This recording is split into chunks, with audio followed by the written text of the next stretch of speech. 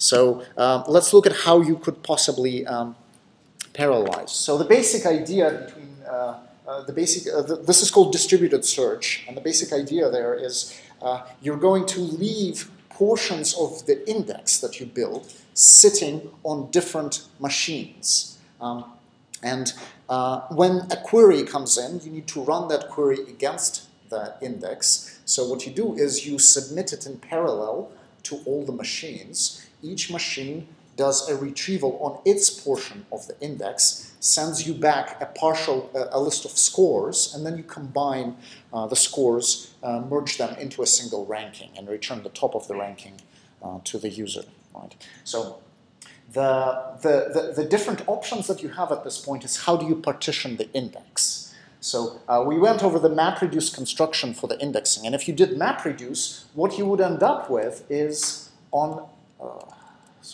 on each machine, you would have a complete index for a fraction of terms, right? So machine R1 would have a complete index for he and a complete index for likes, and machine R2 would have a complete index for um, ink.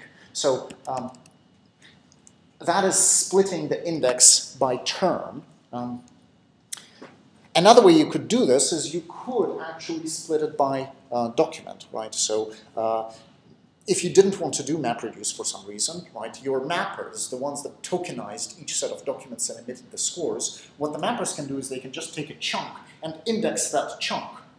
Presumably that chunk is small enough to where you can fit it, uh, you can do indexing uh, efficiently enough. And, that, and then that machine has a portion of the index that just covers, say, documents 1 through 5. And then another machine covers documents, uh, you know, 5 and, uh, or 6 and 7. So let's look diagrammatically at what retrieval would happen. So I'm, I'm assuming the second case, the indices are split by documents. So uh, the first machine, the first uh, mapper, I guess, uh, it stores documents 1 and 2, the second one three, four, the third one is 6 and 7, and so on. Um, so what happens in this case? Uh, a query comes in. For for an index that's constructed like that, you actually have to take your query and send it to all of the uh, collections, right? Because you don't know which portion of the index uh, contains matches to your query. So you would send the query to all of the collections. Each collection, each machine would execute the query against the index and send you a set of results. So maybe so maybe there was no matches from M3, but M1, M2, and M4 gave you the following ranked lists. And each list includes document IDs and scores. And then the job of you, after the retrieval has been done, the head node has to take these lists and merge them in some way. Right? Um, so that merge could be as simple as, uh, as just resorting them by decreasing score. Uh, that, of course, assumes that each of the machines runs exactly the same scoring function. So if each of the machine does BM25 with the same parameters, then your job is simple. You can just merge the scores because they will all be comparable to each other. Right? Um, an interesting twist on this problem is uh, meta search, right? Meta search is where uh, you write the head node, and M1 is Google, and M2 is Bing, and M4 is uh, Baidu. Right? So you take your query, you send it to all the search engines, and each one of them returns a set of results to you, and then you try to merge them in the hope of coming up uh, with a better ranking overall. Now the problem there is uh, you get a, um, first of all, these search engines don't return scores to you, they just return positions. Uh, and even if they did return the scores, you wouldn't know how these scores are uh, computed. So merging these uh, ranked lists is devilishly hard, and there's uh, it's a, it's a whole cottage industry of methods just for that problem in and of itself. Um, but even if you uh, even if you fully control these engines, even if you know that they all return the same scores, and uh, and you know what the scores are, um, when you do this, there's still something that they have to do right? There is, um, so can you think of one central piece of information that they all need to share so that you can combine results together meaningfully? So is there a common piece of knowledge that they all need to have? I'm sorry? The what? Oh, the document count. So it depends on the scoring.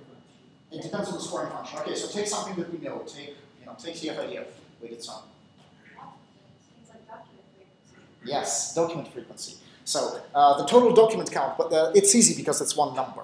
Uh, but the document frequency, remember, uh, you need IDF for ranking things, right? And the IDF better be the same across all the collections. Otherwise, your results from M1 and your results from M4 are not going to be on the same scale. They're not going to be comparable to each other. And you could say, well, you know, if you just sample randomly, this wouldn't happen. Uh, unfortunately, that won't work because of Zipf's law. The tail is just too big. So all of these nodes actually need to share a common um, IDF table, and that can become a bottleneck. Um, so would this happen if would this happen if we split the index the other way, if we split the index by term?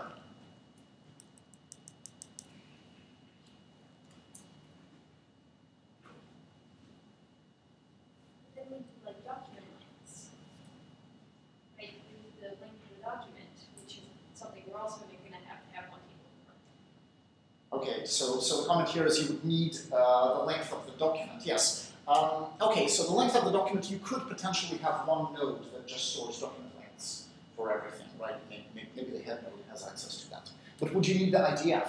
Would the IDF need to be shared? That's right, no. So you don't, uh, you don't have to, because each node in that case would just have an index for a single term.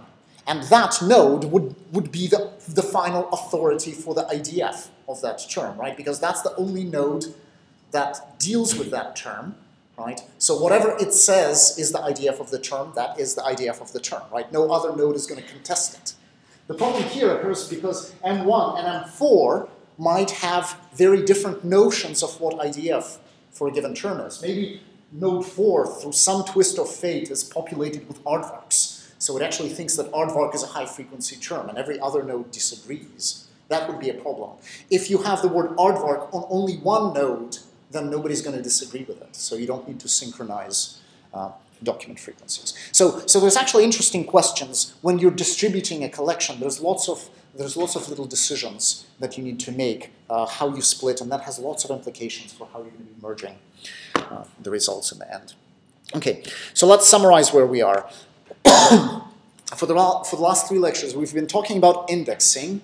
Uh, the basic idea is we're looking at our collection as a matrix. Rows are document uh, vectors, columns are inverted lists. We talked about um, we talked about uh, Zipf's law in the beginning of the course. Zipf's law means that most terms will not occur, uh, will occur in very few documents. And this means that this matrix is very, very sparse. So when you're storing your inverted lists, you should use a sparse representation uh, for the columns, basically uh, lists of tuples. And, and you want to keep them ordered because that allows you to use linear merge, which is basic operation that keeps popping up again and again and again um, in, in, in, in, all the algorithms that we talked about for processing this. Um, so that's the basic index. If you have phrases or if you have structured documents, you want to use proximity or extent indices. That's the way to embed the structure in an index. We talked about index compression, right? So uh, very simple techniques to get the indices to take fewer bytes on disk.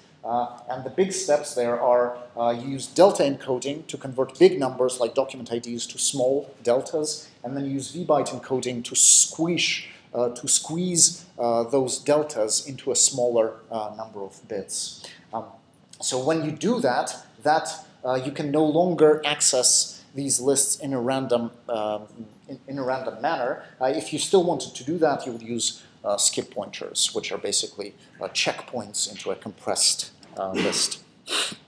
For constructing the index, so we went about the we talked about the naive way, and we talked about why it's not a reasonable way of doing things, right? Because index doesn't fit in memory. Uh, so the core idea of doing it is you construct partial indices and then merge them together. We talked about how to do that with MapReduce, and we also just talked about how to do distributed search, which is basically uh, you build an index in a, in a parallel way, and then you just leave it sitting at the nodes. You don't, you don't aggregate it into one big chunk, you just leave it sitting there.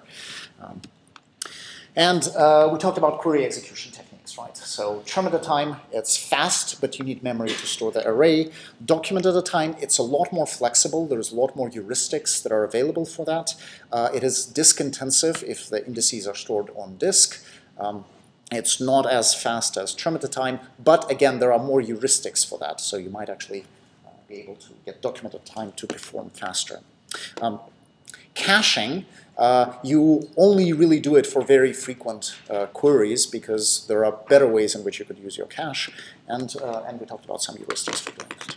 All right.